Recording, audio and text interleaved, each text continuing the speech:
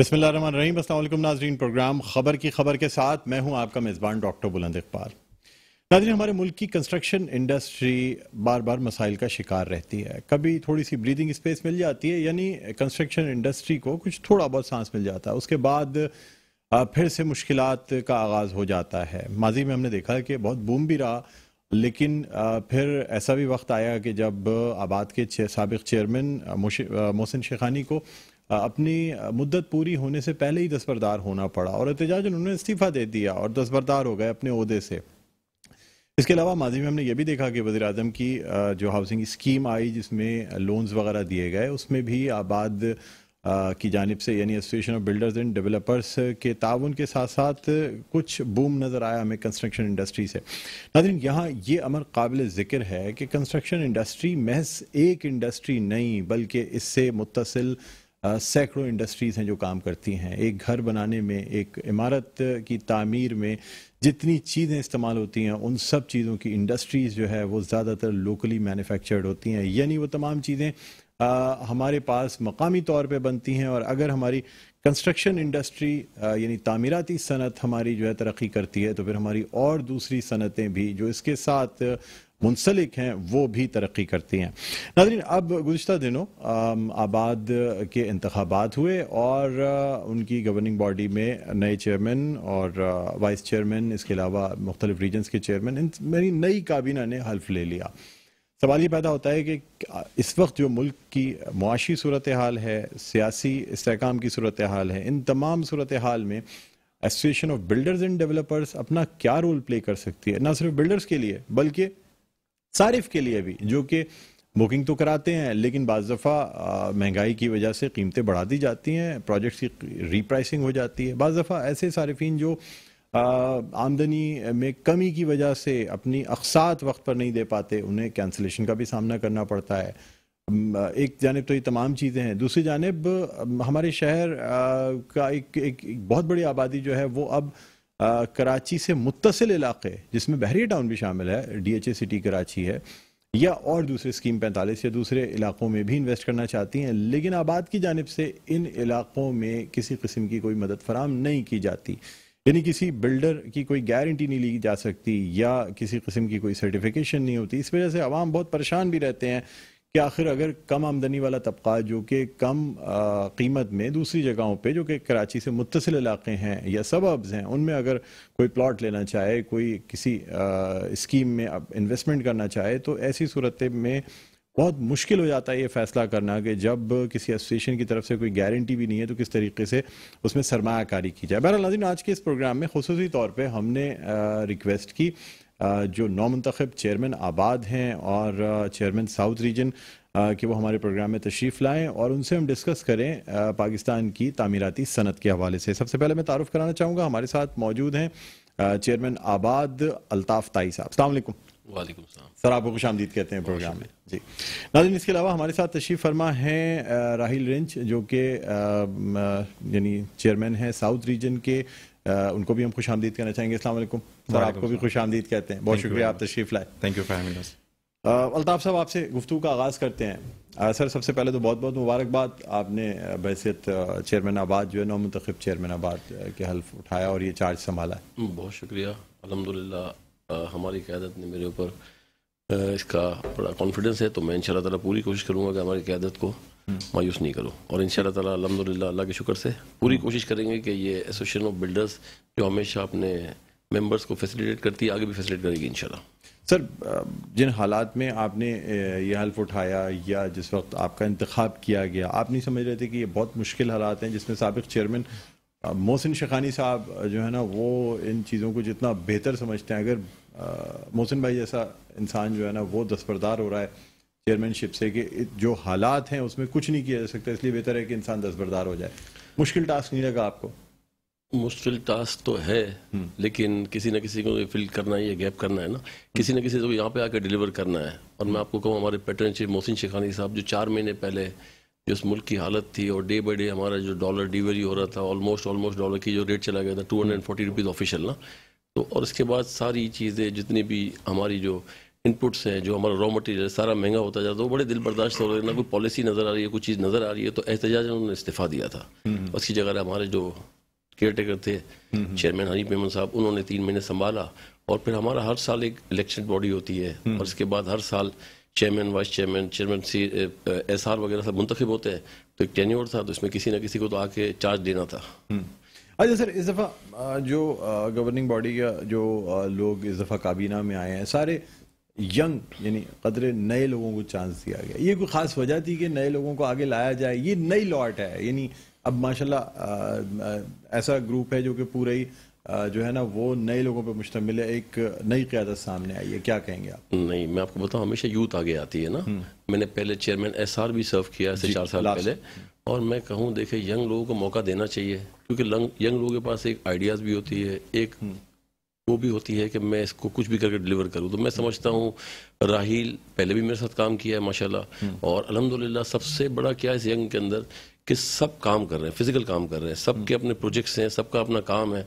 तो मैं समझता हूँ बेहतर तरीके से डिलीवर कर सकते हैं कि जो आदमी एक्चुअली खुद फ़ील्ड में होता है, खुद काम कर रहा होता है तो उसको डिलीवर करने में इतना प्रॉब्लम नहीं होता है। राहिल साहब, आपने जो है वो चेयरमैन साउथ रीजन की हैसियत से आपने, जो है ना, वो ये ऑफ़िस संभाला है। साउथ रीजन में काम भी बहुत ज़्यादा है, इसलिए कि पूरा कराची और तमाम चीज़ें जो हैं वो साउथ रीजन में आती हैं। और ख़ास तौर पे खाली अगर सिर्फ़ और सिर्फ़ कराची को ही ले लें तो जो इस वक्त डेवलपमेंट्स और चीज़ें चल रही हैं, इन हालात में भी देखा जाए बड़े प्रोजेक्ट्स वो हो रहे हैं।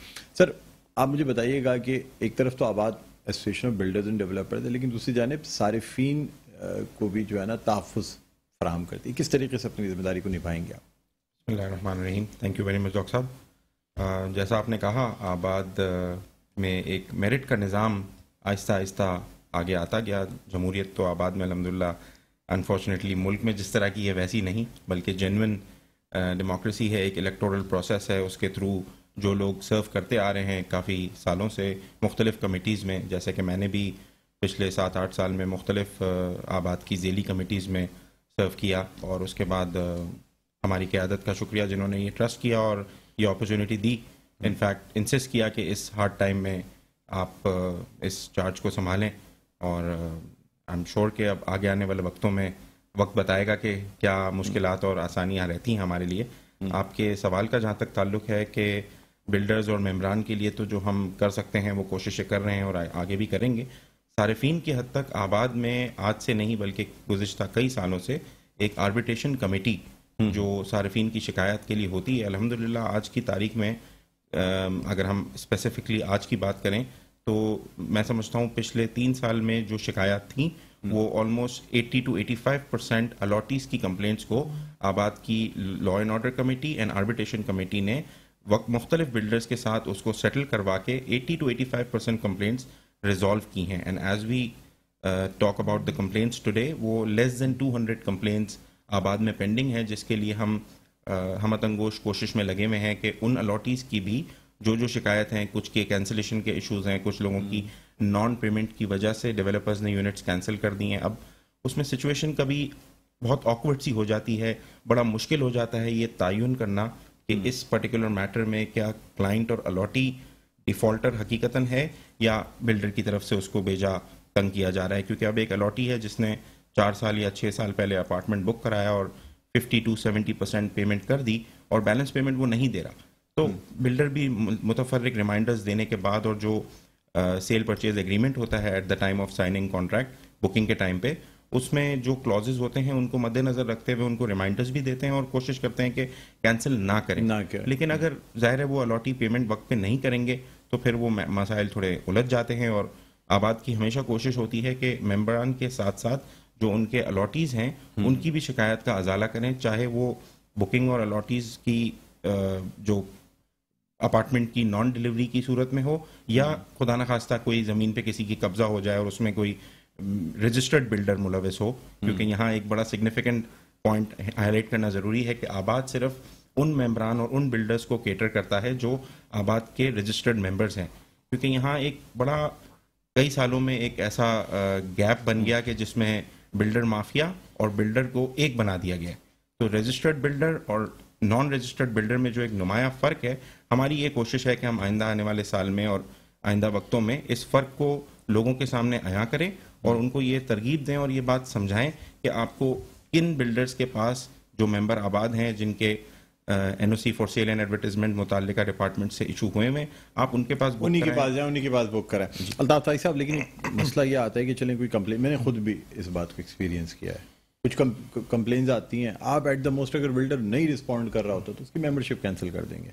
ऐसा ही है सर नहीं हम इसको शौकात इशू करते हैं। सर वो तमाम चीज़ों से गुजरने के बाद फाइनल आउटकम क्या होता है अगर रिजॉल्व नहीं हो रही है तो मेंबरशिप कैंसिल करते हैं सर वही बिल्डर का ग्रुप जो है वो किसी और नाम से नई रजिस्ट्रेशन करा के नए प्रोजेक्ट्स चला रहा होता है सर ऐसा नहीं होता ऐसा नहीं होता है। हमारी इंडिपेंडेंट कमेटी है जो मेंबरशिप देती है।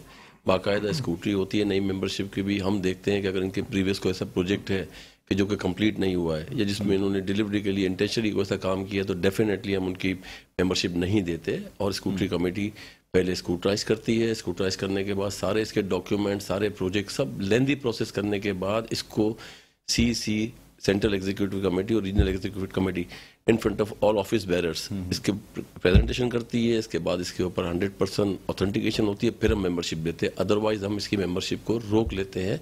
और उसकी मेंबरशिप अच्छा, रिन्यू नहीं करते। उस बिल्डर की जो दूसरे पार्टनर्स दूसरे जगहों पे काम कर रहे हैं उनकी बिल्ड उनकी एन को क्या किया जाता है? एक एक ग्रुप है उसमें छह पार्टनर्स हैं और एक प्रोजेक्ट जिस मेन पार्टनर का था उसने डिफ़ॉल्ट कर दिया। बाकी पाँच पाँच पार्टनर कहते हैं "ये हमारी तो लड़ाई हो गई है। चाहे वो उसके ग्यारह गार हो लेकिन वो तो ऑफिशियली कह देते नहीं होता, सर ऐसे मैं आपको ये मिसालें आपको दे भी दूँगा और नाम भी दूँगा बाकायदा।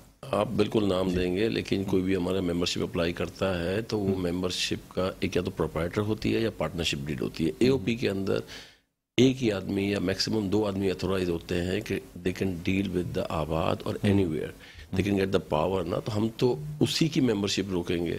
हमको साइलेंटली तो नहीं पता है ना कि इनके कितने पार्टनर्स हैं कितने पार्टनर्स नहीं है। तो हम तो खाली ये देखेंगे कि इस मेंबरशिप हमने दी है। इज़ अ प्रोपराइटर अगर प्रॉब्लम होगा तो हमारी आबाद की जो जैसे इंडिपेंडेंट कमेटी राहिल ने कहा एक हमारी कंप्लेन कमेटी इंडिपेंडेंट कमेटी और हमारे पास डेली कंप्लेन आती रहती हैं और हमारा काम है। क्योंकि देखिए हम लोग जो इतना भी काम कर रहे हैं लीगल काम कर रहे हैं जेन्यन काम कर रहे हैं। तो हम फैसिलिटेट करते हैं और कोशिश करते हैं कि क्लाइंट को कोई प्रॉब्लम ना हो। हमारे जो बिल्डर्स के क्लाइंट हो एज एलवेज एज वेल वेज बिल्डर्स को भी कोई प्रॉब्लम ना हो क्योंकि देखिए हमेशा बिल्डर्स का फॉल्ट नहीं होता है। बाज दफ़ा बहुत से क्लाइंट ऐसे होते हैं कि उनकी वजह से भी बिल्डर्स को बड़ा प्रॉब्लम होता है। अल्ताफ ताई साहब अब नस्ला टावर और कुछ प्रोजेक्ट्स के निदाम के बाद जो है डायमेंशंस चेंज हैं कंस्ट्रक्शन इंडस्ट्री की।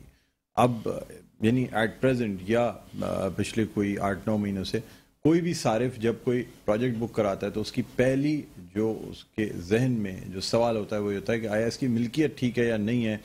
आया ये जो बिल्डिंग ताम अब तो सर कोई यानी कोई गारंटी नहीं रह गई ना कि एक बिल्डिंग पहले तो ये होता था बिल्डिंग बन गई, आबाद हो गई तो इसका मतलब ये है कि अब उसे कोई नहीं हिला सकता। अब तो जब एक दफ़ा बन के आबाद होकर बिल्डिंग गिर गई तो इसका मतलब तो ये है ना कि फिर कोई गारंटी नहीं कि आबाद किसी किस्म की स्क्रूटनी करता है सर जब डॉक्टर साहब बड़ी आपने बड़ी नस्ला टावर के बाद जो आपने कहा ना देखिए पोजीशन क्या होती है कि आबाद एक एसोसिएशन है।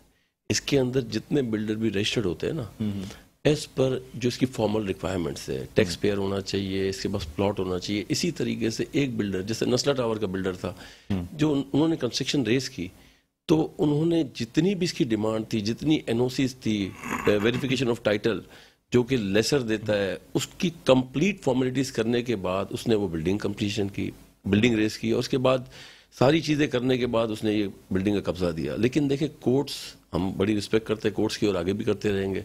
कोर्ट्स नोज़ द बेटर हम उनके सामने कोर्ट्स के सामने हमने अपील भी की हमने रिक्वेस्ट भी की जो हम कर सकते थे। लेकिन मैं आपको आज भी कहूँगा कि एक्चुअली सोसाइटी होती है ना society is the owner of the land society एक लेसर को एक लैंड देती है जो बिल्डर डेवलप लेता है उससे डेवलपर एक लैंड सोसाइटी खुद लेसी बन जाती है जी हाँ सोसाइटी लेसी नहीं बनती सोसाइटी रेवेन्यू से लैंड देती है। रेवेन्यू से लैंड देने के बाद इसको बोलती है यहाँ मस्जिद बनेगी या इम्यूनिटीज बनेगी या कमर्शियल प्लॉट बनेंगे यहाँ सब चीज़ें बनेगी। और वक्ता फक्तन जो भी पॉलिसी चेंज होती है, पर सोसाइटी के पास जब आप जाके किसी किसी भी इंडिविजुअल आदमी के पास सोसाइटीज तो बहुत पुरानी है। अगर आप एक प्लॉट परचेज करते हैं तो प्लॉट परचेज करने के बाद इस प्लॉट को जब आप रजिस्ट्री करवाते हैं then you have to complete all the formalities in the society इसके बाद जब सारी फॉर्मेलिटीज कंप्लीट होने के बाद सोसाइटी ये प्लॉट रजिस्टर्ड करती है अपने पास। रजिस्टर्ड करने के बाद सोसाइटी इसको रजिस्टर्ड नहीं करती। इसके बाद इसके बाद भेजती है मिनिस्ट्री ऑफ़ कॉमर्स इस्लामाबाद वहाँ से मिनिस्ट्री ऑफ़ वर्क से जब वापस आता है म्यूटेशन होकर फिर सोसाइटी इसको रजिस्टर्ड करती है। इसके बाद जाके बिल्डर को एक साइट प्लान इशू करती है कि you have completed all the formalities कि ये इसकी जितनी भी रिक्वायरमेंट्स थी एज पर लेजिस्लेशन कोई S R O N R O के तहत नहीं एज पर लेजिस्लेशन उसके बाद जाके सोसाइटी टाइटल करती है। इसके बाद जाके बिल्डर का एक पहले इसको साइट प्लान मिलता है। साइट प्लान मिलने के बाद बिल्डर इसको सोसाइटी को बोलते हैं now I want to raise the construction of ten floor fifteen floors में कंस्ट्रक्शन करना चाहता हूँ सोसाइटी बोलती है now you have to complete all the formalities इसके बाद सोसाइटी के पास बिल्डर अपने जो अप्रूव अप्रूवल प्लान होते हैं जो हम्म। उसको सबमिट करता है इसके बाद सोसाइटी इसकी स्क्रूटी करती है फिर सोसाइटी इसकी स्क्रूटरी करने के बाद पर फ्लोर इसकी फ़ीस लेती है फ़ीस हम्म। लेने के बाद जब हम जाते हैं एसबीसी के अंदर हम्म। इसके बाद एमपी जो से वेरीफाई करती है कि टाइटल ऑफ़ लैंड क्या है? It's commercial it's converted commercial it's by birth commercial जो सोसाइटी के हाथ में है। हमारे हाथ में नहीं है। We are not the authority इसके बाद जब ये सब चीज़ें हो जाती है फिर हम एस बी सी अब जाते हैं। एस बी सी हमको बोलती है you have to pay a betterment charges fifty rupees betterment charges what is betterment charges you have to pay a five million seven million rupees betterment charges कि जिस facility में आप ये plot बना रहे हैं उस फैसिलिटी बेटरमेंट किया जाए उसकी बेटरमेंट किया जाए वहाँ की गटर लाइन को बेहतर किया जाए वहाँ रोड को बेटरमेंट किया जाए। जब हम स्टार्ट करते हैं इनिशियली तो ये हमको पैसे देने पड़ते हैं। इलाके की बेहतरी इलाके की बेहतरी के लिए। हम्म। एक प्लॉट के लिए मैं बात कर रहा हूँ आपको इलाका का बेहतरी में तो मिलियंस ऑफ़ रुपीज़ आते हैं। एक प्लॉट की बेहतरी के लिए साठ से आठ से दस मिलियन तराफ है उसकी बेहतरी खाली इनिशियली फ़ीस भरते हैं। इसके बाद फिर सोसाइटी के पास गए। सोसाइटी ने इसके इसके ट्रांसफ़र के पैसे लेने के बाद इसके फ्लोर के पर फ्लोर के society million to million rupees लेती है। उनका अपना डिस्कशन है। कोई इसमें कोई रोक नहीं सकता है कोई उनको बोल नहीं सकता। इसके बाद जाके बिल्डर ने जाके सत्रह एनओसियाँ लेनी है। सत्रह डिपार्टमेंट से सत्रह एनओसियाँ लेनी है। हाइट एनओसी वाटर एनओसी अपने सिविल एविएशन एनओसी हर एनओसी लेने के बाद एसबीसी में सबमिट होता है। एसबीसी सबमिट होने के बाद प्रेजेंटेशन होती है। प्रेजेंटेशन होने के बाद जो भी इसकी रिक्वायरमेंट होती है, सारी रिक्वायरमेंट पूरी करने के बाद, इसकी सारी कंप्लीट फ़ीस करने के बाद, सारी सेल एनओसी लेने के बाद ये एक डेवलपर एक बिल्डर जाके इसको सेल कर सकता है। आप मुझे बताएँ आपने कहा एक एक आजकल के हालात आजकल के हालात और पुराने हालात में कोई फ़र्क नहीं है बिल्डर हर चीज़ पूरी करता है देखिए आपको राहिल भाई ने बड़ी वजाहत कर दी कि एक है बिल्डर माफिया एक है बिल्डर हम्म। ये association of builders and developers है ये जेन्यन बिल्डर्स की है।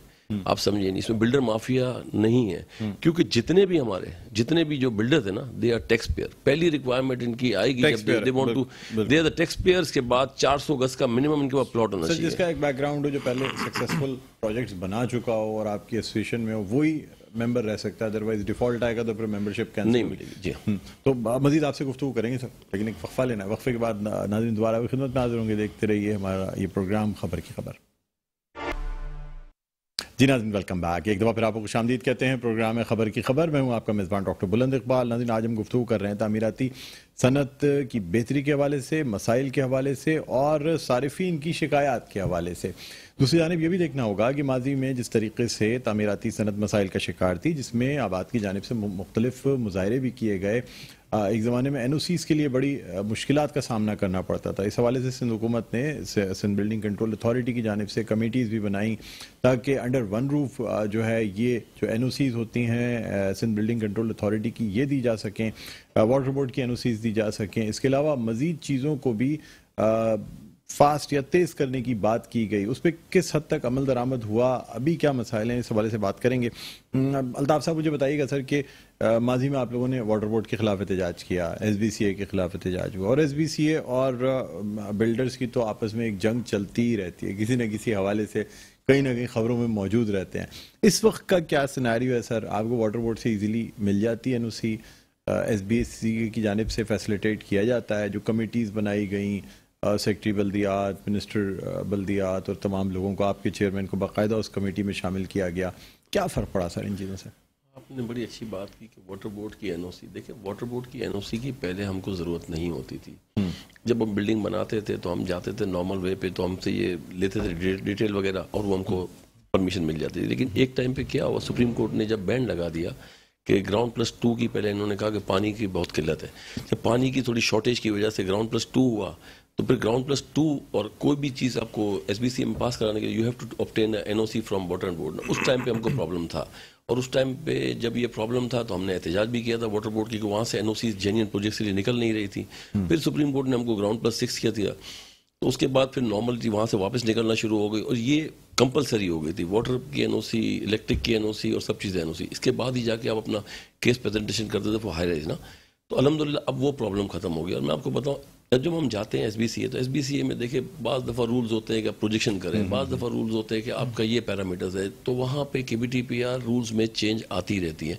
Because K D G section under section twenty one A के तहत इज़ अनोनिमस अथॉरिटी के वो चेंजेस एस आर ओ के थ्रू करते रहते हैं चेंजेस तो ये हमारा तो प्रॉब्लम होता रहता है और हमको डेली इसमें लेना पड़ता है कि ये आज ये ये पोजीशन है आज ये आज ये इसके रूल्स वगैरह तो we have to follow certain rules तो ऐसा नहीं है थोड़ी बहुत हमारे को काफ़ी वहाँ से कॉपरेशन भी है और हम जाते भी हो टाइम टू टाइम नेगोशिएट भी करते हैं हमारे नुमाइंदे भी हैं उसके अंदर इन्वॉल्व है।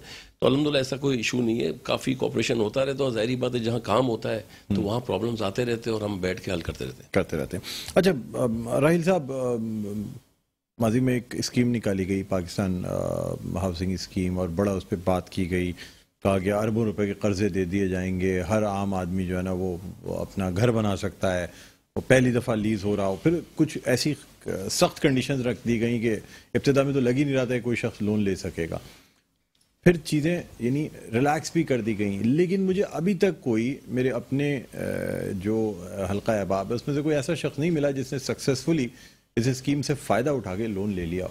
क्या इस पर काम हुआ या बस ये ऐलानात की हद तक रही और प्रोसेसिंग ही होती रही बैंक की जानब से और उसके बाद अब चीज़ें रुक गई हैं?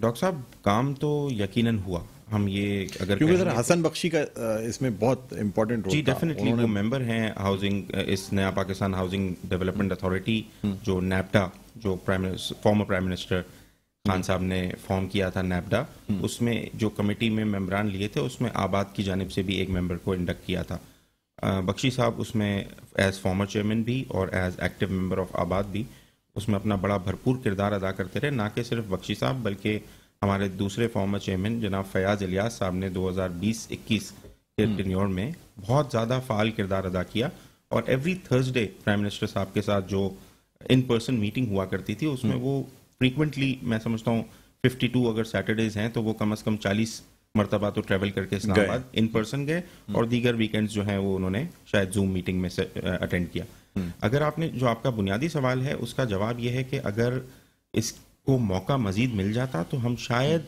अमली तौर पे इसका रिज़ल्ट जो है वो शायद देख लेते ऑल हम्म। दो कि आपका सवाल बिल्कुल सही है कि क्या ये सिर्फ़ वादों की हद तक था जो बहुत बड़ा एक दावा था पचास लाख घरों का। हम्म, हम्म। वो मैं समझता हूँ वो थोड़ा सा ओवर रेटेड सर किसी को मिल कोई से, उसने किसी ने इस्तेफादा किया इस स्कीम से। मैंने तो अब तक किसी को नहीं देखा। सिंध में हाँ।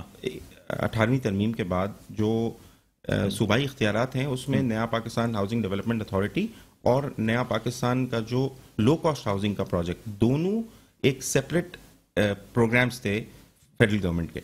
वो सिंध में तो अप्लाई ही नहीं हो सके अनफॉर्चुनेटली बिकॉज़ सूबाई खुद मुख्तारी के बाद अठारहवीं तरमीम के बाद ये जेली शोबा रह गया सूबे की हद तक हम्म। और जो फेडरल के इकदाम थे नया पाकिस्तान हाउसिंग के अंदर थ्री हम्म। मिलियन से जो कम कीमत के मकानात लो कॉस्ट पे लोगों को बैलेटिंग के ज़रिए दिए जाने थे वो हम्म। सिंध में अप्लाई नहीं हो सकता था तो हम पहले दिन से इस बात की आवाज़ उठाते रहे कि आप फेडरल गवर्नमेंट के सामने सबका फेडरल गवर्नमेंट के सामने कि आप अपनी पॉलिसी को ऐसा बनाइए कि विफाक डायरेक्टली आके कराची शहर में हम्म। इस चीज़ को अप्लाई करने में हमारी मुआवनत करे इसमें मैं समझता हूँ वो हमें सेटिस्फाई भी नहीं कर सके और हम्म। वो डिज़ायर या वो नीड जो एक यहाँ कराची के जेनुअन डिमांड है अगर आज आप कराची को देखें 52 percent of Karachi population slums में रहती है कच्ची हम्म। आबादी में रहती है ये कोई कहना बहुत आसान है या बहुत छोटी बात लगती है लेकिन अगर आप इसकी इंटेंसिटी को देखें कि टू 25 टू 30 मिलियन पॉपुलेशन का शहर जिसकी फिफ्टी परसेंट आबादी कच्ची आबादी में रह रही है तो उन लोगों के पास ये नहीं है कि वसाइल या जराए नहीं है तीन मिलियन या छह मिलियन तक का घर खरीदने के हम्म। उनके पास जराए भी हैं वसाइल भी हैं सप्लाई नहीं है आज अगर हम्म। आप आबाद के तमाम मेम्बरान जो कराची में डेवलपमेंट कर रहे हैं हम्म। अगर उन सारी प्रोजेक्ट्स की डिलीवरी को 2022 2023 में अक्यूमुलेट करें तो मेरी एक जाती असेसमेंट के तहत हम जेन्युन डिमांड का टेन परसेंट भी सप्लाई नहीं दे नहीं कर सकते इतनी बड़ी डिमांड है और इतना बड़ा वैक्यूम है विच रिफ्लेक्ट्स डायरेक्टली कि ये एक आइडियल अपॉर्चुनिटी है एक हम्म। बेहतरीन मौका है रियल स्टेट इन्वेस्टमेंट करने का क्योंकि इसका इम्पैक्ट जो डॉलर इस वक्त डेप्रिशिएट रुपी जो डॉलर के अगेंस्ट डेप्रिशिएट हुआ उसकी भी अभी रियल स्टेट ने एडजस्टमेंट नहीं ली है। अगर एक छोटी सी मिसाल दे दूँ मैं पहले आज से छह माह या सात माह या एक साल पहले एक लाख डॉलर की वैल्यू थी डेढ़ करोड़ रुपए कमोबेश और आज उसी एक लाख डॉलर की वैल्यू है सवा दो करोड़ रुपए। तो आपने अगर आज से सवा साल पहले या एक साल पहले डेढ़ करोड़ रुपए का एक अपार्टमेंट बुक कराया होता और आज वही अपार्टमेंट जो आपको डेढ़ करोड़ रुपए में मिल रहा है टेक्निकली वो साल पहले आपको लाख डॉलर का मिलता आज वो सेवेंटी थाउज़ेंड डॉलर का मिल रहा है। तो या तो रियल स्टेट ने बढ़ना है या डिमांड ना होने की वजह से वैल्यूज़ ने नीचे जाना है। तो प्राइस तो नीचे आ जाते हुए हमें नहीं दिख रही। डिमांड को केटर करने के लिए हमें सप्लाईज बनानी पड़ेंगी जिसके लिए इदारों की और हुकूमतों की ताउन की हमें सर अभी मार्केट ट्रेंड्स पे भी आएँगे क्योंकि आजकल कहा जा रहा है कि मार्केट बहुत डाउन है। जो। खास तौर पे सेल एंड परचेज जो है या इवन प्रोजेक्ट्स अच्छे प्रोजेक्ट्स की बुकिंग जो है वो लो कॉस्ट तो फिर भी चल रही है लेकिन अच्छे प्रोजेक्ट्स की बुकिंग जो है इस वक्त अच्छे से मेरा मतलब है हाई कॉस्ट वो इस वक्त बहुत स्लो है। उस पर भी आएँगे सर। लेकिन आपसे ये बात करना चाहूँगा आप नहीं समझते सर आबाद अगर सिंध हुकूमत के साथ ज़्यादा लाइजॉन रखता पिछली गवर्नमेंट की बात मैं कर रहा हूँ तो ज़्यादा कामयाबी से काम कर सकते थे। आपके ऑफ़िस बेरर्स ने कुछ अपना झुकाव पाकिस्तान तहरीक इंसाफ की तरफ़ ज़्यादा रखा। ये लोग कहते हैं, सर, कि आबाद का बहुत ज़्यादा झुकाव रहा है पाकिस्तान तहरीक इंसाफ की तरफ़, जिसकी वजह से वफाकी हुकूमत से आपने इंसेंटिव्स तो लिए, लेकिन उनको इम्प्लीमेंट नहीं कर सके अठारहवीं तरमीम की वजह से। इसलिए कि सिंध हुकूमत के साथ आपकी अच्छी आपका अच्छा लाइजॉन नहीं था, आपके अच्छे कॉन्टैक्ट्स नहीं थे। देखिए हम पॉलिटिकल तो नहीं हैं लेकिन फेडरल गवर्नमेंट ने जो उस वक्त थी ना सिंध हुकूमत के फेडरल गवर्नमेंट ने जो भी हमको इंसेंटिव देने थे हम्म। हमने नेगोशिएट फेडरल गवर्नमेंट से किया इम्प्लीमेंटेशन के लिए जिसके लिए फेडरल गवर्नमेंट ने हमको काफ़ी सपोर्ट भी किया हमारे को हमें एमिनिस्ट्री स्कीम भी दी हम्म। जिसका हमने फ़ायदा भी उठाया पूरे पाकिस्तान वो फ़ायदा हुआ था। वो फ़ायदा हुआ ठीक है लेकिन वो फ़ायदा ऐसा नहीं था कि नॉर्म उठा के दे दिया फेडरल गवर्नमेंट ने। फेडरल गवर्नमेंट हाँ। ने जो ये मिनिस्ट्री स्कीम दी है ना it was very good ministry scheme ऐसा नहीं है कि मैंने एक पैसे डिक्लेयर करे और मैं जाके वाइट हो गया मेरे बड़ी बात यह है कि ये चीज़ ओपन कर दी गई कि किसी के पास भी पैसा पड़ा है वो ग्रे है वाइट है कुछ भी है वो कंस्ट्रक्शन इंडस्ट्री में लगाए कुछ कुछ कुछ नहीं ये नहीं था ये नहीं हाँ। था ये नहीं था देखिए ऐसा नहीं था। ऐसा नहीं था बहुत बहुत अच्छा बहुत अच्छे तरीके से गवर्नमेंट ने वो मिनिस्ट्री स्कीम दी थी। हम्म। अगर किसी के पास ग्रे पैसा पड़ा हुआ है तो he can purchase a plot और एक सर्टेन टाइम दिया गया कि एक सर्टेन टाइम कराने के बाद बिफोर जून 2021 ये प्लॉट आपको लेना है आपको सारे जितने भी इसका प्रोसेस करके आपको अप्रूवल लेना है। अप्रूवल लेने के बाद बिफोर दिसंबर आपको ये कंस्ट्रक्शन इसकी स्टार्ट करनी है। अगर आप हम्म। किसी जगह पे अप्रूवल नहीं ले सकते हम्म। जिसके लिए आपने कहा कि सिंध गवर्नमेंट से हमको प्रॉब्लम हुआ पाकिस्तान में बहुत ज़्यादा मिले अगर आपको अप्रूवल नहीं मिलता है अगर आप कंस्ट्रक्शन स्टार्ट नहीं कर सकते बिफोर दिसंबर तो यू आर नॉट एलिजिबल फिर आपके ऊपर सेक्शन ट्रिपल वन लागू पड़ती है जिसके ऊपर बहुत बड़ी पेनल्टी और आप कंसीडमेंट में आते हैं। इसके बाद फिर नया ये था कि अगर आपने कंस्ट्रक्शन स्टार्ट कर दिया तो you have to complete the grade structure within one and half years if you can not complete the grade structure within, within one and a half years तो you still you are not eligible to get the amnesty scheme. मतलब हर जगह पे इन्होंने हमको ये कहा कि जितनी भी जैसे वन टेन ट्रिलियन की चेक पॉइंट्स लगाए हुए चेक पॉइंट्स लगाए हुए थे चेक पॉइंट्स लगाए हुए थे लेकिन खाली चेक पॉइंट्स नहीं लगाए हुए थे। फ़िज़िकल काम करना है हमने। जिन्होंने भी एम्यूनिटी स्कीम ली है ना आज भी अगर किसी जगह पे भी अगर बिल्डर पीछे हटता है तो उसकी एलिजिबिलिटी खत्म हो जाती है you have to face triple one concealment तो उसको वो सारा काम करना है। तो ऐसे नहीं है कि आपने कहा कि वो एमिनिस्ट्री दे दी। और दूसरी, आपने जो कहा ना, सिंध गवर्नमेंट का लाइसेंस देखिए फेडरल गवर्नमेंट कोई भी चीज़ करती है और फेडरल गवर्नमेंट जैसे पिछली गवर्नमेंट थी, उन्होंने बोला, हम पचास लाख घर देंगे। हमने इन्हें वेलकम किया। तो हमने तो काम करना है। देखिए हम तो नॉन पॉलिटिकल ऑर्गेनाइजेशन है। हम तो इस मुल्क में काम करते हैं, उस मुल्क के लिए काम करते रहेंगे इन ताला, और अलहमदिल्ला हमारे बच्चों ने भी काम करना है, ठीक है ना? और सिंध गवर्नमेंट के पास भी हम गए। सिंध गवर्नमेंट ने भी जितना हमको फैसिलिटी कर सकती थी। तो जहरी बात है sometime you have to negotiate with the federal government और sometime you negotiate with the Sindh government अगर सिंध गवर्नमेंट और फेडरल गवर्नमेंट दोनों अलग अलग है तो उसमें आबाद का तो कोई फॉल्ट नहीं है ना। आबाद तो जहाँ जाएगी देखिए आप जहाँ आपको जहाँ अच्छी चीज़ मिलेगी आप वहाँ जाएँगे और कोशिश करेंगे कि हमारे मेंबर्स को हम फैसिलिटेट करें और हमारे मेंबर्स के लिए काम करें। हम्म। तो मैं आपको बताऊँ ऐसा नहीं है जो आपकी थिंकिंग है। सर क्या वजह मार्केट क्यों डाउन हो गई आजकल? बहुत अच्छी जो सौदे पहले हो रहे थे रोज़ या हफ्तों के हिसाब से कीमतें बढ़ रही थी वो चीज़ मार्केट में नहीं नज़र रही बायर आपको जेनविन बायर यानी हकीकी ख़रीदार मार्केट में शॉर्ट है इस वक्त बिल्कुल शॉर्ट है, मैं आपको बताऊँ देखिए एक्चुअली प्रॉब्लम क्या हो गया है आप किसी भी कंट्री में जाते हैं। जैसे हमारा कंट्री है, किसी भी कंट्री में, दुबई चले जाए, वहाँ। पे एक आपका जो है रेट है ना एक्सचेंज रेट वो फिक्स है three point six seven four two इसके बाद अगर पूरी दुनिया में कमोडिटी की कीमतें बढ़ती है तो इस तरीके से वहाँ की प्राइस बढ़ती है और वहाँ सब चीज़ें होती है। हमारे यहाँ क्या है रुपी डिप्रिशिएशन हो गया आपका almost forty five fifty percent इसकी वजह से इंटरनेशनल कमोडिटीज की प्राइस सारी महँगी हो गई। इसकी वजह से रॉ मटेरियल महँगा हो गया। रॉ मटेरियल महँगा हो गया तो जो कॉस्ट ऑफ़ कंस्ट्रक्शन थी वो हमारी तीन साढ़े तीन हज़ार की आज साढ़े पाँच छः हज़ार रुपये आ गई। तो अब बिल्डर को वो बेयर करना है और इतनी अनसर्टेनिटी हो गई इतनी अनसर्टेनिटी हो गई कि आप खुद सोचे ना कि दिनों में पाँच पाँच रुपये चार चार रुपये का डॉलर नीचे जा रहा है। और ये नहीं पता है कि कल क्या होगा। तो इसके लिए थोड़ी सी अनसर्टेनिटी हो गई बायर भी रुक गए। देखिए buyers are there consumers are there investors भी रुक गए इन्वेस्टर्स रुक गए कंज्यूमर्स रुक गए बायर्स रुक गए एवरीबडी रुक गए। इसका मैं आपको इससे कहूँगा कि देखिए आज से एक साल पहले गवर्नमेंट का जो रेवेन्यू कलेक्शन था वो था 57 ट्रिलियन आज 61 62 पे चला गया एक्सपेक्टेड 70 पे चले जाएँगे। इसका मतलब देखिए चाम है यहाँ पे पोटेंशियल है हर चीज़ है। टैक्स पेयर बहुत ज़्यादा है। और बहुत ज़्यादा टैक्स पेयर का अभी भी ग्रोथ का चांस है। तो मैं ही समझता हूँ कि यहाँ के पोटेंशियल नहीं है। हालात की वजह से थोड़ा सा बाहर रुकी है। जैसे मेरे राहिल भाई ने कहा हालात। एक लाख डॉलर में जो चीज़ मिलती थी डेढ़ करोड़ रुपए की थी आज वो चीज़ सवा दो करोड़ रुपए की है। तो डेफिनेटली कहीं ना कहीं जाके तो उसको सेटल होना है ना। ठीक ठीक। मजीद आपसे गुफ्तु करेंगे लेकिन नाजरीन यहाँ एक वक्फा वक्फे के बाद दोबारा खिदमत में हाजिर होते हैं। देखते रहिए प्रोग्राम खबर की खबर।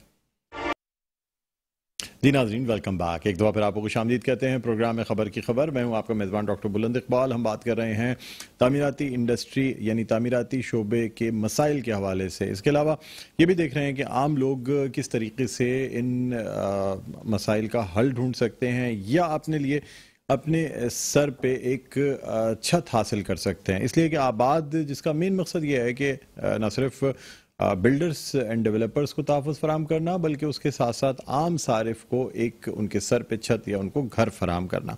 हमारे साथ चेयरमैन आबाद अल्ताफ़ ताई साहब मौजूद हैं और चेयरमैन साउदर्न रीजन राहिल रिंच साहब मौजूद हैं। सर ब्रेक पे जाने से पहले बात हो रही थी कि मार्केट जो है ना वो डाउन है। वो अपनी जगह सर लेकिन एक जो मसला आता है जिस पे अ, हमें सिंध बिल्डिंग कंट्रोल अथॉरिटी की जानब से भी शिकायत मसूल होती हैं। आप लोग भी शिकायत करते हैं। कहीं ये कहा जाता है कि जी हमसे मुख्तलिफ़ चीज़ों में ब्राइब्स मांगी जाती हैं यानी बहुत सारी डिमांड्स की जाती हैं। हम आए दिन देखते भी रहते हैं, बहुत कुछ हो रहा होता है। फिर सवाल ये पैदा होता है कि बिल्डर को एक्स्ट्रा फ्लोर डालने की ज़रूरत क्यों पड़ती है? जो चीज़ नॉर्मली बाय लॉ जितने फिट की हाइट हो या जितनी उस रोड के ऊपर या उस एरिया में जितने फ्लोर्स अलाउड हैं उतनी फ्लोर्स का क्यों नहीं बनाया जाता? बिल्डर सोचता है, दो फ्लोर और डाल लूँगा, दो फ्लोर्स का मतलब है मतलब ज़मीन तो वही है दो फ्लोर और डाले और पैसे ही पैसे। साहब आपका सवाल मैं समझता हूँ आपको मेरे चेयरमैन एसआर ने बड़ी वजाहत से बता दिया कि एक है बिल्डर माफिया एक है बिल्डर जो कि जेन्यन बिल्डर है। तो हमारे आबाद के जो बिल्डर्स हैं आप मुझे एक भी प्रोजेक्ट ऐसा पॉइंट आउट कर दें जिसके अंदर फ्लोर वायलेशन हुई हो। आई डोंट थिंक सो मेरी नज़र में ऐसा कोई प्रोजेक्ट नहीं है जिसके अंदर फ्लोर वायलेशन हुई है हम दो फ्लोर डाल देंगे। एक होता है कॉन्ट्रैक्टर अगर उसने दो फ्लोर डाल दिए तो is not the members of ABAD और वो हमारी अम्ब्रेला के अंदर नहीं है। तो जितने भी आबाद के मेंबर्स हैं एस पी सी ए की रिक्वायरमेंट पूरी करके व्हाट द फ्लोर्स दे अलाव अस वही फ्लोर्स डालते हैं और वही फ्लोर्स के बाद कंप्लीशन लेके उसको डिलीवर करते हैं। तो मैं नहीं समझता हूँ कि किसी आबाद के मेंबर्स की हमारे पास कोई ऐसी कंप्लेन आई हो कि जिन्होंने फ्लोर वायलेशन की हो। मेरी नॉलेज में भी तो नहीं है। तो मैं आपकी इस बात की तरदीद करता हूँ और बहुत सख्ती से तरदीद करता हूँ कि ऐसा नहीं है। ऐसा नहीं खास तौर पे पिछले दस सालों में। राहिल साहब बाज़ दफ़ा जो प्रोजेक्ट सिखाए जाते हैं मॉडल अपार्टमेंट सिखाए जाते हैं उसकी क्वालिटी उसकी चीज़ें कुछ और होती हैं। बाय द टाइम वो प्रोजेक्ट तैयार होता है कुछ महँगाई भी बढ़ जाती है और उसके बाद जब सारिफ जाके असल में अपना अपार्टमेंट देखता है तो परेशान हो जाता है कि ना दरवाजे उस क्वालिटी के हैं ना आपकी सैनिटरी फिटिंग्स उस क्वालिटी की हैं, ना, जो टाइल्स हैं वो उस क्वालिटी की हैं। उसका क्या किया जाए? सर, ठीक है, एक शख्स जिसने रेगुलरली पैसे भरे हों, चलें डिफ़ॉल्ट होते हैं, और ये भी नहीं है कि कोई चार साल का मनसूबा ज़रूरी हर सूरत में चार साल में ही मुकम्मल होता है। छः छः साल लगते हैं, sir it's a normal procedure लेकिन सर, उन बेचारों को क्या कसूर, जो बेचारे वक्त पे पैसे भी जमा करा देते हैं, और दो साल की ताखिर के बाद प्रोजेक्ट देखते हैं तो वो कहते हैं, यार मॉडल अपार्टमेंट कुछ और था, असल चीज़ कुछ और हुई। डॉक्टर साहब इसमें मैं थोड़ा सा डिसएग्री करते हुए ये अर्ज़ करूँगा कि हाँ। इस वक्त जो आबाद के मेंबर्स प्रोजेक्ट्स डिलीवर कर रहे हैं या अंडर कंस्ट्रक्शन प्रोजेक्ट्स हैं उसमें एक फॉर्चुनेटली एक ऐसा कॉम्पिटिटिव इन्वायरमेंट क्रिएट हो गया है।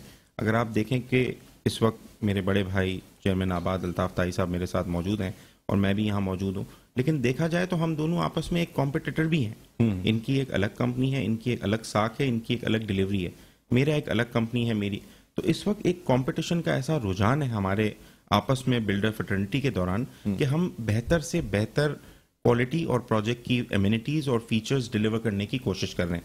जिसकी ज़िंदा मिसाल आपको पिछले पाँच से सात सालों में खालिद बिन वलीद और जमशेद टाउन के और साउथ डिस्ट्रिक्ट साउथ के कई प्रोजेक्ट्स में दिखेंगे कि वो हकीकी तौर पे वो किसी भी इंटरनेशनल सिटी के किसी भी हाई एंड प्रोजेक्ट को बीट करता है नॉट इवन मीट करते हैं। मतलब आप अगर ताई साहब की या दीगर जो हमारे सीनियर मेम्बरान हैं जिन्होंने पास पिछले सात आठ सालों में खालिद बिन वलीद पे या सिविल लाइन में या क्लिफ्टन के अतराफ में जो हाई एंड एरियाज़ हैं वहाँ पर ऐसे ऐसे प्रोजेक्ट्स डिलीवर किए हैं कि जिसमें इलेक्ट्रॉनिक एंट्री एग्जिट और हर वो चीज़ जिसको एक नॉर्मल बिल्डर फीचर बना के देता है एक्चुअली वो फीचर नहीं है वो जरूरियात है।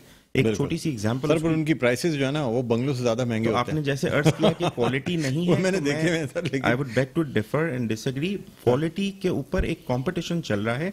हाँ। माजी में ज़रूर ऐसा हुआ है जो आप कह रहे हैं कि मॉडल अपार्टमेंट कुछ और दिखाया जाता है और एंड में प्रोडक्ट कुछ और दी जाती है लेकिन पिछले आठ दस सालों में ये रुझान सिग्निफिकेंटली तब्दील हुआ है और आगे आने वाले वक्तों में मैं समझता हूँ बहुत ज़्यादा ये आप देखेंगे कि क्वालिटी ऑफ़ कंस्ट्रक्शन इम्प्रूव हुई है। और ना सिर्फ़ इम्प्रूव हुई है बहुत हाई स्टैंडर्ड क्वालिटी के अपार्टमेंट्स और टावर्स जो हैं वो लोग प्रिपेयर कर रहे हैं। उसकी सिर्फ़ एक वजह है। वो ये कि अब जो इस वक्त सारिफ है जो एक कस्टमर है उसकी डिमांड है कि वो वो फैसिलिटीज़ माँगता है जो एक्चुअली दर हकीकत आज फैसिलिटीज़ नहीं है ज़रूरियात हैं। यूँ समझ लें कि एक हाई स्पीड एलिवेटर है, या स्टैंड बाय पावर जनरेटर है, या सीसीटीवी कैमरा है। ये तीनों चीज़ें या इस जैसी बेशुमार चीज़ें अब नुमाया खसूसियात नहीं रही। एक ज़माने में आज से 10-20 साल पहले 30 साल पहले ये खसूसियात में आप शुमार करते आज ये ज़रूरियात हैं। अगर मैं बीस मंजिल का या पंद्रह मंजिल का एक प्रोजेक्ट बना रहा हूँ तो मैं हाई स्पीड एलिवेटर के बगैर अट्ठारहवें फ्लोर का अपार्टमेंट कैसे एक्सपेक्ट करता हूँ कोई खरीदेगा, जब तक लिफ्ट नहीं होगी। जो अनसर्टनटी पावर बैकअप की है के इलेक्ट्रिक के जो अहवाल हैं हालात हैं उसमें मैं कैसे एक दो करोड़ का या चार करोड़ का अपार्टमेंट बेच पाऊँगा जब तक मैं उसके अंदर twenty four hours power backup ना दूँ? तो ये आज ये पहले खसूसियात थी लेकिन आज अब ये जरूरियात बन गई। बन गई। अच्छा अल्ताफ ताई साहब ये जो अब जैसे बहरिया टाउन है या बाकी चीज़ें सर इसमें किस तरीके से आपकी एसोसिएशन किरदार अदा कर सकती है? देखिए सर एक बड़ा हिस्सा है शहर का और लोग चाहते हैं कि इन इलाकों में भी इन्वेस्ट करें या कम अज़ कम कोई एसोसिएशन कोई मेंबरशिप आबाद की तरफ़ से हो बिल्डर की तो लोगों को मजीद इतमान महसूस होता है। देखिए आपने बड़ी अच्छी बात की। आबाद जो है ना association of builders and developers है ना तो ज़ाहिर बात है इसका पहला रिक्वायरमेंट है कि लीज प्लॉट 400 या minimum lease plot Bahria Town से हमको कोई अल्लाह ना करे हमारा कोई वो नहीं है लेकिन बहरिया टाउन जिस दिन लीज करेगा प्लॉट्स को तो उस पर हम डेफिनेटली सोचेंगे कि बहरिया टाउन के बिल्डर्स को भी हम फैसिलिटेट करें क्योंकि हमारी बेसिक रिक्वायरमेंट है। और बहरिया टाउन में माशाल्लाह काम हो रहा है बहरिया टाउन वाले कर रहे हैं पर वो एक अलग है विदाउट लीज है तो हम फैसिलिटेट नहीं कर सकते। हमारे यहाँ रिक्वायरमेंट ये है बेसिक रिक्वायरमेंट ये है, और ये बेसिक रिक्वायरमेंट एक मेमोरेंडम एसोसिएशन के हिसाब से हमारे हिसाब से नहीं है कि एक हमने आके फॉरन कर दिया 1972 से ये एसोसिएशन है, जिसकी सर्टेन रिक्वायरमेंट्स हैं। तो सर्टेन रिक्वायरमेंट्स को अगर वो फॉलो करते हैं, जो भी अगर फॉलो करना है तो फिर हम क्यों नहीं करेंगे? हम डेफिनेटली फॉलो अप करेंगे। अगर वो बहरिया ने जिस तरह अभी कह रहे हैं कि सोलह एकड़ को इनको अगर मिल गई है लीज, अगर ये लीगल हो गए, लीगल होने के बाद अगर ये अपने कमर्शियल प्लॉट्स वगैरह को सब लीज करेंगे और हमारी रिक्वायरमेंट पूरे आएँगे तो हम डेफिनेटली इनको फैसिलिटेट करेंगे इंशाल्लाह ठीक। अच्छा सर, ये जो सोसाइटीज़ का भी बड़ा रिवाज चला, बड़ी सोसाइटीज़ बनी डबल अलाटमेंट्स भी बहुत हुए। सर, आम लोग जो देख रहे हैं, बहुत सी आजकल अट्रैक्टिव प्राइसेस पे स्कीम पैंतालीस और दूसरी सोसाइटीज़ लॉन्च कर दी जाती हैं। और कहा जाता है, जी, बस ये आप इसके इतने पैसे जमा कराएँ और डेवलपमेंट कर दिया जाएगा। वो भी तो डेवलपर्स हैं ना सर, जो सोसाइटीज़ डेवलप कर रहे हैं। उन पे क्या चेक्स एंड बैलेंसेस होते हैं? फिर आपको मेरे राहल भाई ने बहुत अच्छे तरीके से बताया मेरे मेरे सामने कि हमारे यहाँ एक मेंबर रजिस्टर्ड होता है। वो मेंबर्स कोई सोसाइटी लॉन्च करता है तो उसको भी सारा प्रोसेस जिस तरीके से हम वर्टिकल डेवलपमेंट के लिए जाते हैं इस तरीके से हॉरिजेंटल के लिए भी उसको जाना पड़ता है सारी एनओसीज लेनी पड़ती है और जो बायर होता है देखो बायर इज़ वेरी स्मार्ट आजकल वो दौर तो है नहीं आज से बीस साल पहले का तो आपने अभी कहा एक क्लिक के अंदर इसको सारी डिटेल मिल जाती है कि इसने कितने प्रोजेक्ट्स डिलीवर किए वर्टिकल किए नहीं किए। क्योंकि देखें एक मतलब बैंक का सिस्टम है ना। सर तो आप नहीं समझते इन सोसाइटीज को भी आपके नेटवर्क में लाना चाहिए और इनको फैसिलिटेशन आबाद की वजह से मिलनी चाहिए आबाद का मेंबर ना हो तो उसको जो हमारे इदारे हैं ऐसा ही है ऐसा ही है। सर फिर भी बड़ी सोसाइटीज लॉन्च हो रही हैं बड़ी सोसाइटीज देखे ऐसा ही है ऐसा ही वो हमारे यहाँ अंडर मतलब हमारे से मेंबरशिप लेना ज़रूरी है इसको जाके इनको परमिशन मिलती है ऐसे नहीं मिलती और कुछ लोग होते हैं जो हमारे मेंबर्स नहीं है तो हम वो हम तो इसके फैसिलिटेट नहीं करेंगे ना। किसी भी डेवलपमेंट सोसाइटी का प्रॉब्लम होता है तो जिस तरीके से हम एक डेवलपर ये डेवलपर कहते हैं और अगर एक बिल्डर है इस तरीके से हम इसको फैसिलिटेट करते हैं और अलहमदिल्ला मैं आपको बताऊँ सोसाइटीज़ जो डिलीवर हो रही है आप प्लॉट ले लें देखिए ये आज से नहीं हो रहा ये नाइनटीन सिक्सटीज से हो रहा है। जी बिल्कुल। मेरे फादर्स वगैरह रहते थे बंस रोड पे। इन्होंने इधर सोसाइटी लॉन्च हुई सोसाइटी काठियावाड़ मनिया सोसाइटी या लॉन्च हुई तो वहाँ दस रुपए की चीज़ मिल जगह मिलती थी। एक नॉम है आज वहाँ लाखों रुपए गज जगह है। तो ये भी जिस तरीके से हमारी आबादी बढ़ती जाएगी इस तरीके से ये नॉम है ये काम होता जाएगा। मैं आपको बताऊँ एक्चुअली कॉन्सेप्ट क्या है? पीसीएचएस देख लें बाकी देख लें ये भी तो बहादुर यार जैन सोसाइटी ये पूरी विसिनिटी सोसाइटी थी। देख शहीद मिल्लत रोड पे एक हज़ार रुपए गज प्लॉट मिलता था। आज अगर वहाँ दस लोग दस लाख रुपए गज हो गया just because of the population demand and supply आपकी इतनी बड़ी पॉपुलेशन है सिटी के अंदर एक्स्ट्रा ऑर्डनरी अच्छी पॉपुलेशन है। तो ज़ाहिर बात उसकी डिमांड को तो कैटर करना ही है। और आपको बताऊँ जिस तरह आप कहते हैं ये बिल्डर्स जितने भी है ना जो पहले आए जो अभी हैं ये इसको पूरा करते रहेंगे और पूरा करते रहेंगे। हमको जगह मिलती रहेगी सिंध हुकूमत से अच्छा लाइजोन है आपका? सिंधु हुकूमत आप देखें आपने बड़ी अच्छी बात की सिंधु हुकूमत से हम बिल्कुल लाइजन में हैं हम्म। और लाइजन में रहेंगे इनशाला ताला। ताल्लुकात अच्छे हैं बात ताल्लुकात बेहतरीन हर किसी से। देखिए हम आपको फिर मैं आपको कह दूँ कि हम नॉन पॉलिटिकल हैं। हाँ। हमारे ताल्लुकात सबसे अच्छे हैं। कारोबार करना सबसे कारोबार करना क्योंकि हम कारोबारी लोग हैं। देखिए हम इस मुल्क की जीडीपी में वन थर्ड कंट्रीब्यूट करते हैं। हम्म। हमारा किसी भी पॉलिटिकल से कुछ भी नहीं कोई ऐसे। प्रॉब्लम्स जो आपको आप फेस करते हो जो हमारे चैनल के प्लेटफॉर्म से आप आगे पहुंचाना देखिए मैं आपको कहूँगा प्रॉब्लम्स तो हमारे बहुत सारे हैं। देखिए हमको जब के का कनेक्शन लेता हूँ we have lot of problem सबसे बड़े हम है ना के के बायर है। सबसे बड़े कंज्यूमर है। We paid a billions of rupees not a millions of rupees as per the project developer अलग बहुत बड़ी बड़ी रकम पेमेंट करते हैं। एक प्रोजेक्ट में हम पाँच पाँच करोड़ रुपए पेमेंट करते हैं तो वहाँ हमको फैसिलिटेशन नहीं मिलती है। टाइम पे हमारा काम नहीं होता है। इस तरीके से बहुत जगह पे हमको प्रॉब्लम्स हैं। जिसके लिए हम बैठेंगे गवर्नमेंट ऑफ़ सिंध के साथ भी बैठेंगे, उनसे भी बात करते हैं, उनसे भी नेगोशिएट करेंगे और डेफिनेटली देखें हम इस मुल्क के लिए अच्छा काम कर रहे हैं। हम्म। इस मुल्क के लोगों के लिए अच्छा काम कर रहे हैं। जितने हमारे मेंबर्स हैं ये क्या कर रहे हैं? आप मुझे बताएँ जो तरीकेकार है जो नॉम है क्या कर रहे हैं वो? डेफिनेटली इस मुल्क को कंट्रीब्यूट कर रहे हैं ना। और सबसे बड़ा मैं आपको बताऊँ जब हमको एक साल पहले इसको इंडस्ट्री का दर्जा मिला ना आई एम इंडस्ट्री मेरी अपनी इंडस्ट्री भी है टेक्सटाइल की। तो टेक्सटाइल की इंडस्ट्री में क्या होता है किसी भी इंडस्ट्री में आप जाओगे ना तो you have 80 percent fix asset you have a land which is fixed you have machinery which is fix and 20 percent of your amount is circulating and which is paying you a tax and which is paying you each and everything. Mm-hmm. and what we are doing इस वक्त हमने एक project लिया। Mm. एक अरब रुपए की हमने construction की।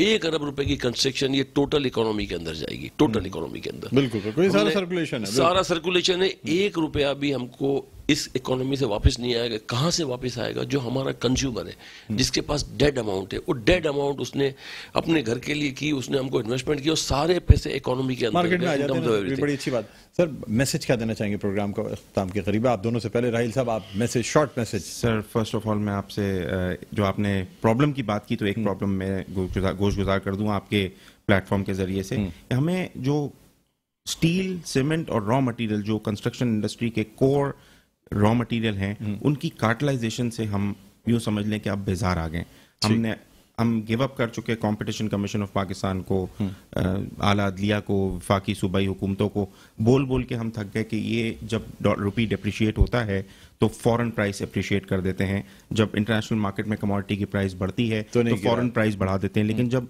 डिप्रिशिएट होता है रुपी अप्रिशिएट करता है तो वो प्राइस नीचे नहीं लाते बल्कि अपनी प्रोडक्शन बंद कर देते हैं जस्ट बिकॉज़ कि उनका मुनाफा जो है वो बरकरार है तो इसके लिए मैं चाहूँगा आपके प्रोग्राम के तवसत से जो भी अरबाब इख्तियार हैं वो इस पर हमारी मामनत करें। हम मुतद लोगों को और मुतद इदारों को इस बारे में गोश गुजार कर चुके हैं। तो ये ऐसी चीज़ है कि इसका direct benefit end user end user को पड़ेगा। अल्ताफ ताई साहब क्या मैसेज देना चाहेंगे? शॉर्ट मैसेज बस मैं भी यही मैसेज दूँगा हम्म। कि गवर्नमेंट को इस इंडस्ट्री को मैक्सिमम फैसिलिटेट करना चाहिए हम्म। हमको कोई मैक्सिमम कोई मिनिस्ट्री नहीं चाहिए कुछ भी नहीं चाहिए लेकिन क्या है ये मिनिस्ट्री लोगों को घर प्रोवाइड करती है ये जो इंडस्ट्री है लोगों को घर प्रोवाइड करती है तो मैक्सिमम अच्छे तरीके से उस फैसिलिटेशन करना चाहिए जो हमारी रिक्वायरमेंट ऑन टाइम हो जाए जितनी ऑन हम्म। टाइम होगी और जैसे मेरे चेयरमैन एसआर ने कहा कि हमको सीमेंट स्टील और इन चीज़ों के कैटलाइजेशन के ऊपर थोड़ा सा गवर्नमेंट को थोड़ा सा ध्यान देंगी तो इंशाल्लाह मैं उम्मीद करता हूँ कि हमारे लिए बेहतर होगा और हम बेहतर तरीके से जो लोग अपना ख्वाब हमसे खरीदते हैं और पैसे हमको देते हैं तो उनको हम फैसिलिटेट करेंगे और इंशाल्लाह अच्छा होगा। बहुत बहुत शुक्रिया अल्ताफ साहब आपने प्रोग्राम के लिए वक्त निकाला राहिल रिंज साहब आपका भी बहुत बहुत शुक्रिया। नाजरीन very अ, चेयरमैन आबाद अल्ताफ ताई और चेयरमैन साउदर्न रीजन रा- राहिल रिंच हमारे साथ प्रोग्राम में मौजूद थे। प्रोग्राम का वक्त अपने अख्ताम पर पहुँचता है। मुझे बुलंद इकबाल को इजाज़त दीजिए। अपना बहुत ख्याल रखिएगा। अल्लाह हाफ़